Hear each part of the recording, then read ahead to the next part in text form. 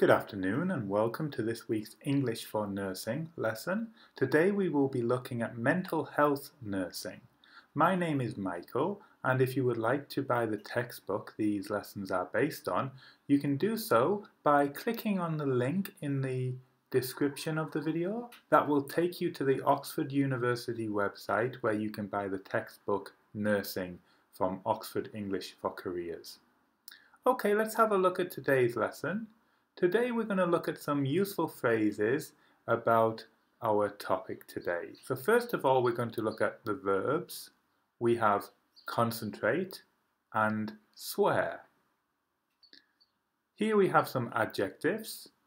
Distressing, long-term, psychiatric, psychotic, and traumatic. Here are some nouns.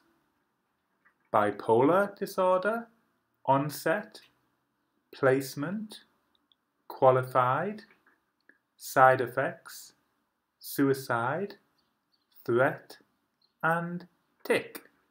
Please remember these words and try to use them in sentences. If you need any help with their translation, you can look it up on the internet.